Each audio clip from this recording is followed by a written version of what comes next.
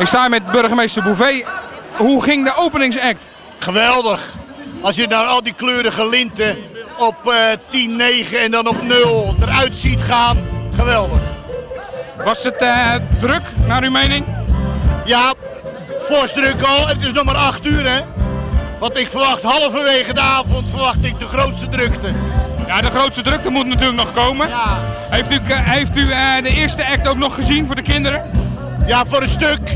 Maar het was eigenlijk voor de, voor de wat kleinere kinderen tussen half acht en acht uur. En die vonden dat natuurlijk geweldig.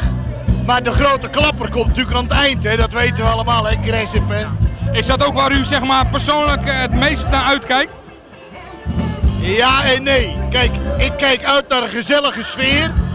En daarnaast gewoon naar een gezellig en goed programma. Crescep is natuurlijk een hoogtepunt.